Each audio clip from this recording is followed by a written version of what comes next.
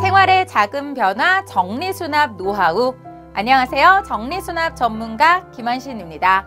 여러분과 함께 정리수납의 모든 것을 살펴볼 건데요.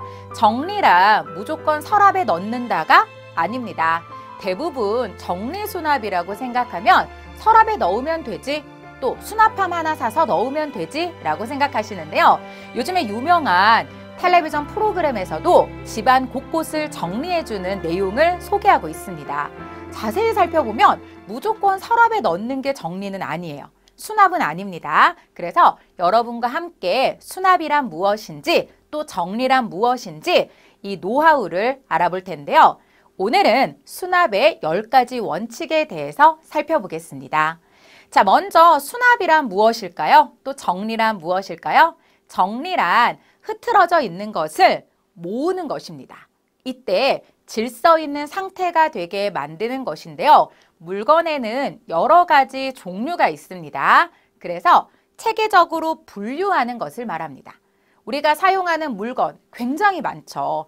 또 집안에 있는 여러 공간에 따라서도 물건의 종류가 매우 다양한데요. 이러한 물건을 한데 모아놓으면 안 되죠. 찾기도 어렵고 무엇이 어디에 있는지 복잡해집니다. 그래서 체계적으로 분류하는 것이 정리고요. 또 하나, 필요 없는 것들을 굳이 가지고 있을 필요는 없습니다. 그런데 우리가 항상 이런 말씀을 하세요. 언젠가 쓰겠지. 또 작아진 옷도 내가 살 빼서 입으면 되지. 이런 생각을 하시는데 현재는 문제가 되거나 불필요한 물건이 있다면 과감하게 줄이거나 없애서 깔끔하게 바로잡는 것을 정리라 하고요. 요즘에는 우리가 미니멀 라이프, 나의 삶을 조금 작게 바꾸는 모습을 통해서도 이러한 정리의 필요성이 강조되고 있습니다. 자, 정리를 통해서 내 집을 깔끔하게 만드는 것, 여기에서 긍정적 기운도 얻을 수 있는데요. 여러분과 함께 정리수납이란 무엇인지 10가지 원칙, 방법을 지금부터 알려드릴게요. 자, 먼저 사진을 몇 장 살펴볼게요. 자, 이 사진들을 보면 어떤 생각이 드세요? 어, 정리 좀 해야겠다. 지저분하다. 실제로 제가 이제 정리수납 의뢰를 받아서 다녀왔던 곳들 사진인데요. 이런 집들 대부분 우리 집이기도 합니다.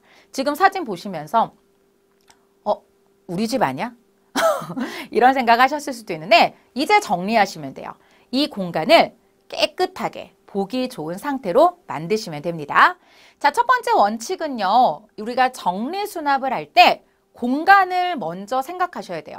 무엇을 어디에 보관할 것인가 수납 공간을 분할하는 게 첫 번째 방법인데요. 용도에 따라서 또 사용하는 물건의 기능과 종류에 따라서 공간을 분할해야 됩니다. 또 우리가 기억하기 쉬운 곳, 재고 파악이 용이한 곳에 물건을 보관해야 되는데요. 인간은 기억을 굉장히 잘하는 동물이기도 하지만 망각도 잘해요. 어디에 뒀는지 잃어버리는 경우도 많기 때문에 내가 자주 사용하는 물건과 그렇지 않은 물건을 구분해서 기억하기 쉬운 곳에 자주 사용하는 물건을 보관하고요. 또 재고 파하기 쉬운 곳. 요즘에는 우리가 생수라든지 또 화장지라든지 물티슈와 같은 제품들을 집에 보관을 해서 사용을 하죠. 항상 여분이 있어야 돼. 이 생각으로 물건을 구입하시는데 우리는 또 쇼핑을 가서 또 물건을 구입하기도 합니다. 뭐 가격 할인을 하거나 원 플러스 원 행사하면은 집에 있음에도 불구하고 어차피 쓸 거니까 또 사지 뭐 이 생각을 하시는데요. 그래서 항상 재고를 파악할 수 있어야 됩니다. 어디에 뒀는지 몰라서 물건을 사용하지 못하는 경우가 발생하면 안 되겠죠. 자 그리고 동선을 고려하셔야 되는데요. 두 번째 원칙에서 이 동선에 대한 내용은 자세히 설명하겠습니다. 자, 동선. 움직이는 거리예요. 최대한 짧게. 내가 물건 하나 꺼내러 갈 때 방 두 개 거치고 거실을 지나서 베란다까지 나가야 된다면 굉장히 시간이 오래 걸리죠. 그래서 내가 자주 사용하는 물건과 그렇지 않은 물건을 구분하되 동선을 고려하셔야 됩니다. 함께 사용하는 물건과 동작이 이어지는 물품은 같은 곳에 보관하셔야 되는데요. 예를 들어 집에서 사용하는 물품 중에서 운동기구 또는 건강식품과 같은 것들은 내가 같이 사용하는 것들이잖아요. 구분을 해서 동선을 짧게 만드셔야 됩니다. 그래서 운동기구만 따로 모아서 베란다라든지 창고에 보관을 하시고요. 건강식품의 경우는 대부분 우리가 먹는 시간이라든지 이러한 것들이 비슷하기 때문에 종류별로 칸을 구분해서 보관하시는 게 좋습니다. 동선은 짧게 하시고요. 또 세 번째로 기억할 것. 가족 구성원이나 또 사용자의 특성을 반영해야 됩니다. 나 혼자 사는 집이라면 내가 사용하는 물건만 보기 좋게 정리하면 되는데요. 다른 가족들과 함께 생활하는 경우에는 사용자 특성을 반영하셔야 돼요. 그래서 연령이라든지 성별, 직업에 따라서 사용하는 물건이 다르기 때문에 이것을 고려해서 물건을 정리합니다. 자, 그리고 이제 분류를 해야 돼요. 정리의 뜻이 체계적으로 분류하는 것이라고 했잖아요. 이때는요, 앞서 말씀드린 사용자, 그리고 종류를 먼저 구분하셔야 되는데요. 용도에 따라서 또 형태에 따라서 크기에 따라서 구분하셔야 됩니다. 부피가 큰 물건을 앞쪽에 보관한다면 불편하죠. 뒤에 뭐가 있는지 이거 다 꺼내셔야 됩니다. 그래서 이때는 부피가 작은 물건을 앞쪽에 보관하고 부피가 큰 물건은 뒤쪽에 보관합니다. 또 무거운 물건은 아래쪽에 보관하는 게 좋겠죠. 또 사용 빈도와 계절의 특성을 고려해 주셨는데요.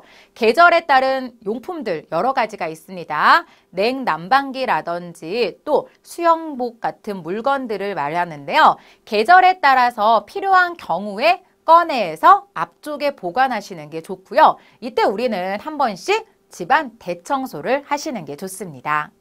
자, 그리고 이제 수납의 원칙 중에 하나가 비노출이에요. 비노출의 뜻은요, 무조건 다 가린다가 아닙니다.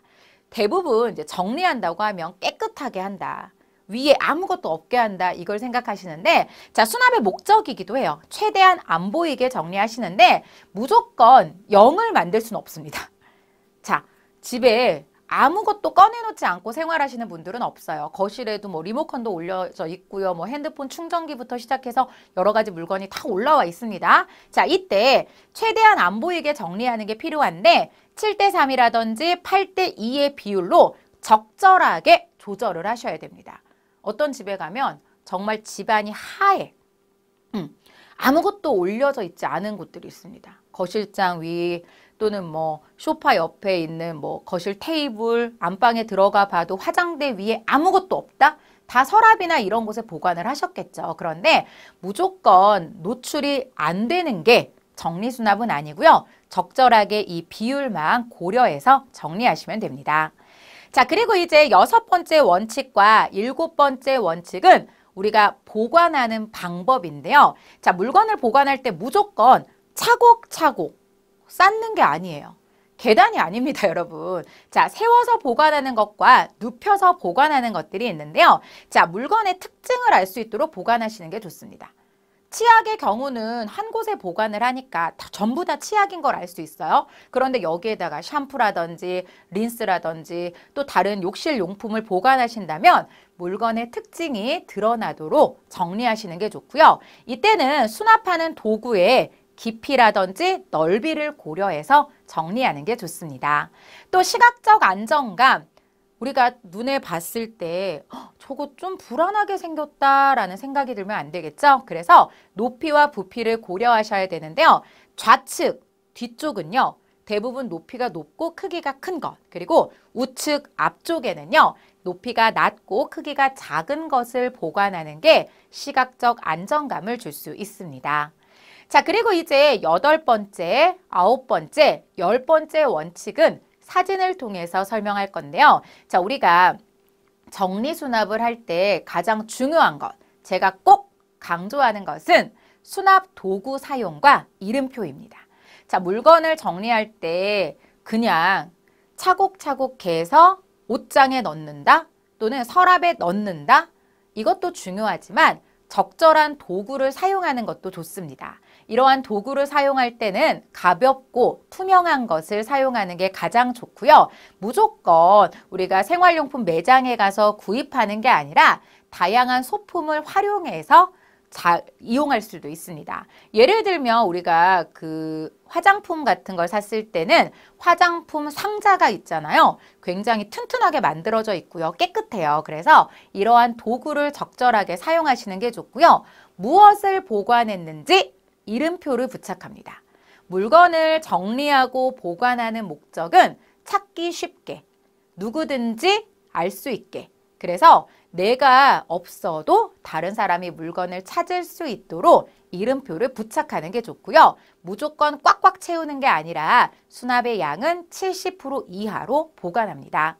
자, 사진을 하나 보여드릴게요. 이곳은 물건을 가득 채우지 않았습니다. 여백이 있죠. 앞에서 말씀드린 것처럼 재고 파악에도 용이하고요. 앞으로 물건을 또 구매했을 때 보관할 장소가 있습니다. 그래서 물건을 구매해서 보관할 것을 생각해야 되기 때문에 수납은 70% 이하로 보관하시고요.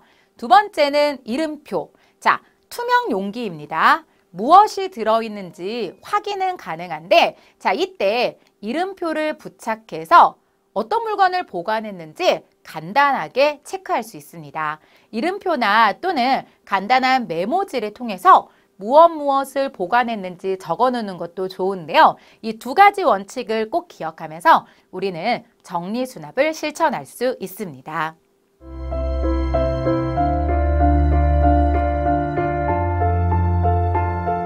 여러분과 함께 생활의 작은 변화, 정리수납의 10원칙을 간단히 정리해 볼게요.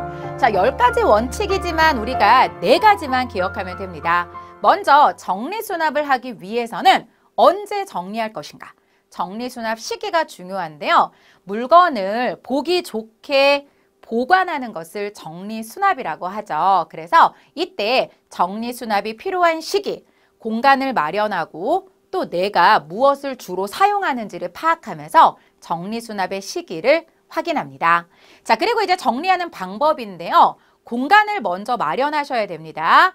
내가 자주 사용하는 물건, 그렇지 않은 물건을 분류해서 보관해야 되고요. 또 내가 찾기 쉬운 곳, 기억하기 쉬운 곳에 물건을 보관하셔야 됩니다. 또 재고를 파악하기 쉬운 곳에 보관하셔야 되는데 이때 우리가 고려할 게 있습니다. 바로 동선이에요. 함께 사용하는 물건, 세임이 비슷한 물건은 한데 모아서 정리하셔야 되고요. 또 누가 주로 사용하는지 가족 구성원의 특성을 반영해서 물건을 보관하셔야 됩니다. 그리고 내가 물건을 정리하고 보관하기 위해서는 적절한 도구들도 활용하시는 게 좋은데요. 무조건 차곡차곡 넣는 것이 아니라 적절한 도구를 사용해서 공간을 분류하는 것, 그리고 시각적 안정감을 느낄 수 있도록 부피가 큰 것과 작은 것, 높이가 높은 것과 낮은 것을 구분해서 정리하는 게 중요합니다. 자, 그리고 이제 정리는 누가 해야 될까요? 항상 청소를 할 때는 가족들이 다 함께 해야 된다라고 생각하지만 내가 주로 사용하는 물건은 내가 정리하면 됩니다. 그래서 정리하는 사람은 바로 나. 앞서 말씀드렸던 공간의 분할, 또 사용하는 물품의 분류는 나부터 시작합니다. 또 사용자별로 사용하는 물건이 다르다고 말씀드렸는데요. 이건 가족 구성원들이 직접 하셔야 돼요. 그래서 우리가 몇 월 며칠 몇 시부터 몇 시까지 청소할 거야. 이렇게 약속을 정해서 시작하는 것도 좋지만 각자 필요한 시점에 맞춰서 개인의 물품을 정리하고요. 가족 구성원의 공동 물품은 다 함께 모였을 때 의견을 나누면서 정리하는 게 좋습니다. 또 마지막으로 한꺼번에 정리하면 안 돼요. 물건을 다 끄집어내 놓고 정리하다 보면 시간이 오래 걸리기 때문에 하나씩 공간을 구분해서 정리하는 것 시작합니다. 자, 이렇게 여러분과 정리수납이란 무엇인지 간단히 이야기해 봤는데요. 정리수납의 10원칙, 생활을 바꾸는 긍정적 변화입니다. 자, 지금부터 여러분도 실천하시면 좋겠고요. 오늘 강의는 여기에서 마치겠습니다. 수고하셨습니다.